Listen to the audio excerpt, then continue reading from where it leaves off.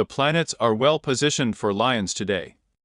Those whom you never even thought of signing up as allies will unexpectedly support you. Once again, family problems loom ahead, which take a lot of time and money to solve. It is better to go on a trip with your family or at least to nature, this will at least raise your tone and please your loved ones. Communication with the family will bring back a good mood and put all other worries on the back burner, and friendly pastime will benefit family relationships. Subscribe to the channel. Get the forecast every day.